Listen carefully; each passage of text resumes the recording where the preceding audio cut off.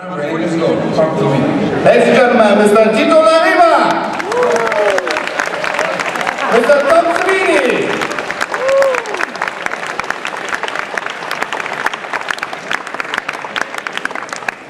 I haven't eaten the whole day, and now you're sitting in front of me eating burgers. I'm getting hungry. No, no, no, keep it, keep it. Enjoy it. Mr. Danny.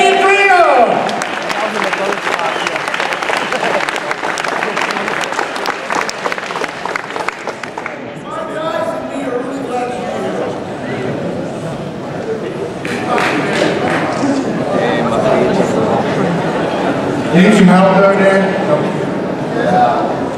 Don't eat the hand, it's no food. So I don't bother us, we're.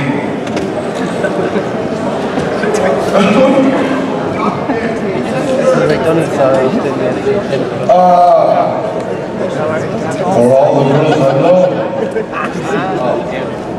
Questions, go ahead, I'll answer for them. What do we got? Right here.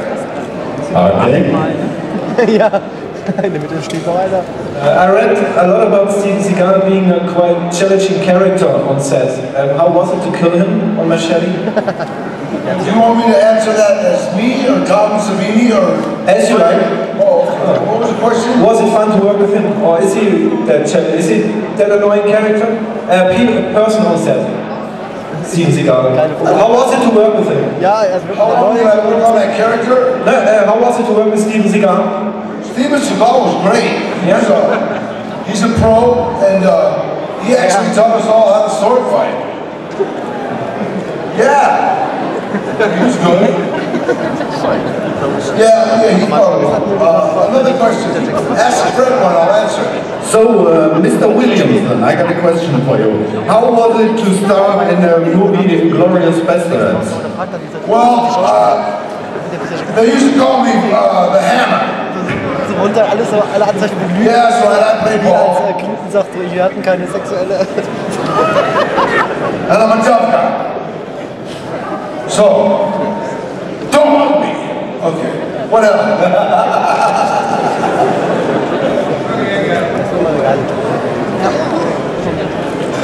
The best thing, we shot in Rome, Italy. So that, that's a good beginning from the start. Rome is a, a great place to work. Uh, as a matter of fact, after I finished the movie, I stayed there for two years. So I made about 25 movies in Rome, Italy after doing uh, Inglorious Bastards. Uh, Black Cobra. Yeah, the original, pre-Quentin. Did uh, several Black Cobras, 1990 Bronx Warriors, The New Barbarians. I did a whole slew of films in Italy. My favorite place. Thank you.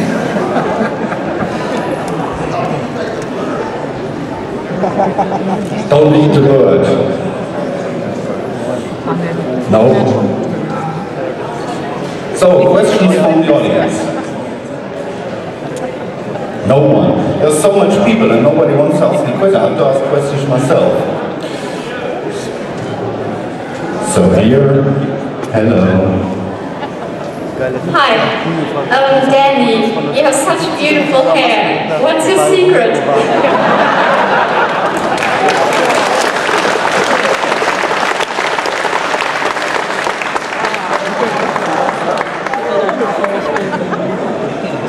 Plant.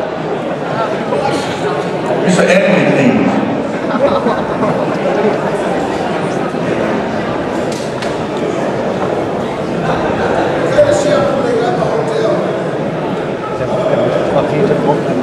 Okay, and my question goes to Mr. Savini. That's you. Um, it's about Terromania. I, for myself, work for uh, one of Germany's biggest haunted house and horror show, and I just love it because you can totally freak out. What's it to you um, to to make this new whole project, Terromania, and how did this idea come up? Microphone too close, I can't, I can't understand. Ask me out here. Too close. Okay, again. Terromania. What's it to you, this whole project, this haunted house, and how did this idea come up? My, my haunted house? Yes. Oh, uh, we haven't done it in two years, but for eight years we had Terramania. And it's the guy who does that.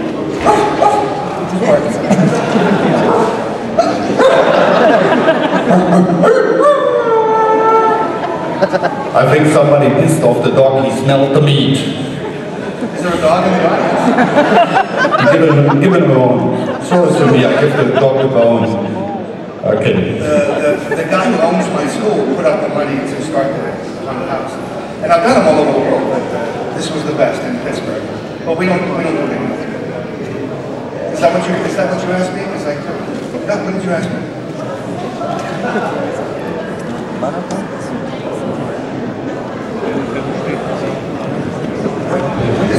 it make? I'll answer. it. You know what? For Tom, it really means a lot because he gets to like, you know, interact with his fans and, you know, and, you know, it's like, he, you know, he walks by and he scares them and it's a lot of fun.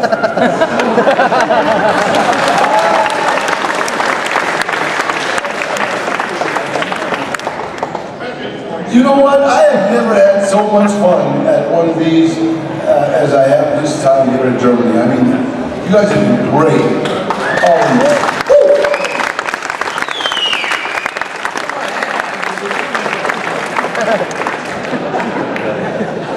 Uh, any other question? I got one for Tito. Uh, uh, Tito, when are you? Where are you guys playing next?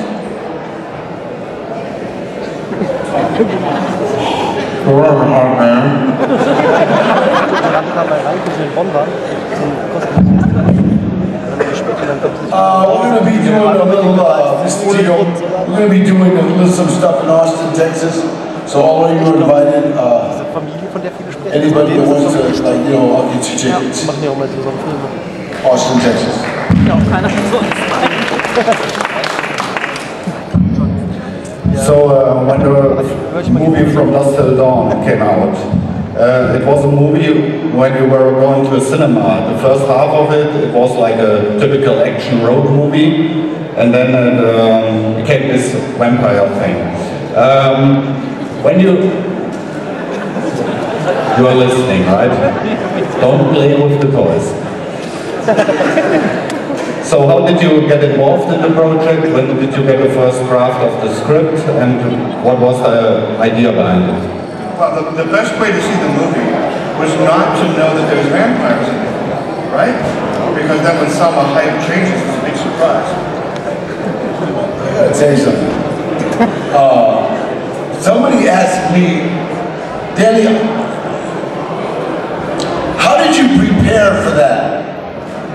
I looked at him and said, how the hell you prepare to be a vampire? I just, I just, you know, I got into a lot of makeup and got scared. But I, I- told you, you know, my, uh, I was a single parent at the time. And my, I took my, uh, six-year-old daughter and my seven and a half year old son. They went, they loved it. And uh, my daughter especially liked the part where my eyes went in the pool pockets. She was very quiet until they killed me and my eyes went in the pool pockets. And all of a sudden, my daughter jumped up and went, yeah! So, I'm writing a book on parenting.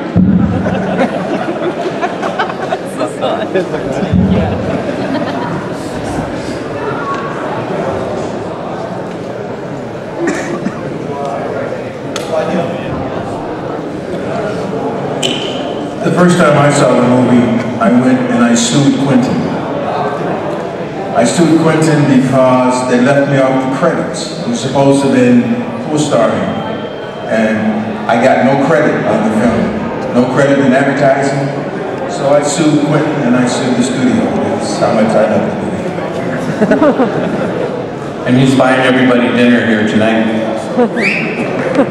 Free beer.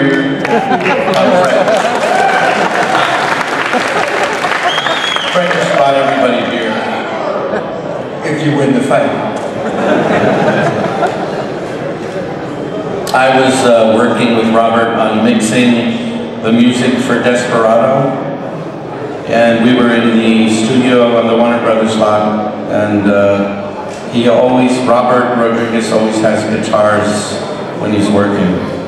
And we took a little break, and I was playing a song, and he turned to me and he said, what is that? I said, it's a song I wrote about a vampire in 1981. And he said, let me videotape it because I'm working on a movie with Quentin about a vampire. It's just a coincidence. And he videotaped me singing the song, and he called me that night and he said, you're going to be in the movie. I wrote a scene with Salma and a snake dancing to that song, blah, blah, blah, get ready. And that's how that happened. then he sent me the script, and I thought he sent me the wrong script, because I was reading it and I thought, there's no vampires.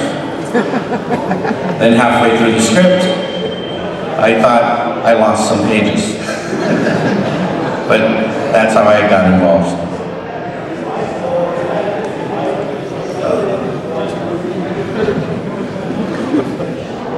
Tito had the absolute best line in the movie.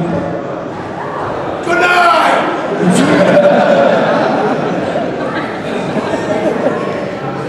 I have a question.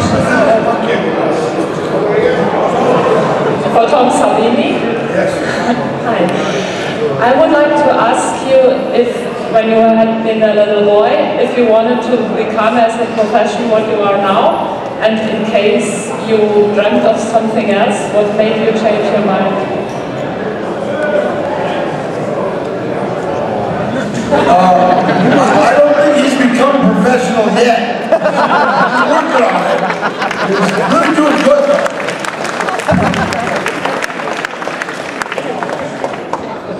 Absolutely, yes. When I was 11 years old, that's all I wanted to do was makeup. Um, I shined shoes on the street to buy makeup uh, or to buy a mask. And you know what? But you know, everybody, every, a lot of successful people that I know today had the passion when they were children. Robert, Robert Rodriguez used to take his school book in, in grade school, elementary school, turn it sideways and draw a cartoon character. On the next page, he would draw a cartoon character. By the end of the day, he had a flip animation movie going on in the border of his book. He was making movies in grade school, you know, so that's a passion that, that, that, that was the same with me. I just thought of nothing else. You become what you think about all day long. And that's, that's the passion.